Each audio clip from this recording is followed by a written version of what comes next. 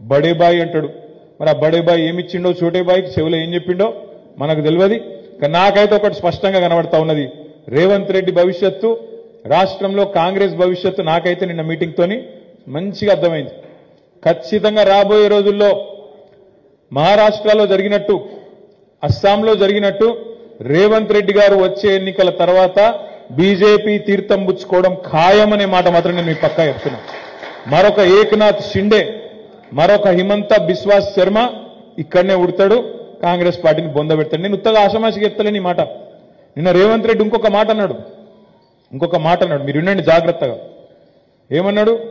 బడే బాయ్ ఇట్లనే ఉండాలి మీ ఆశీర్వాదం మా మీద.